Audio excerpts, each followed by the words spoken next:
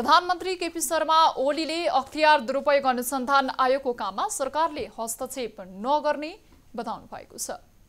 आयोगको तिसौँ वार्षिकोत्सव समारोहलाई सम्बोधन गर्दै प्रधानमन्त्री ओलीले अख्तियारको स्थापना नै निष्पक्ष रूपमा अनुसन्धान गरेर भ्रष्टाचारीलाई कानुनी कारवाही गराउनु रहेको बताउनुभयो। त्यसमा सरकारले कुनै हस्तक्षेप नगर्ने उहाँको भनाइ थियो। कतिपय व्यक्तिमा सरकारले जे भन्यो अख्तियारले त्यही गर्छ भन्ने भ्रम रहेको भन्दै प्रधानमन्त्रीले अख्तियारलाई सरकारको लाचार छाया बन्न नदिने प्रश्न पार्नुभयो।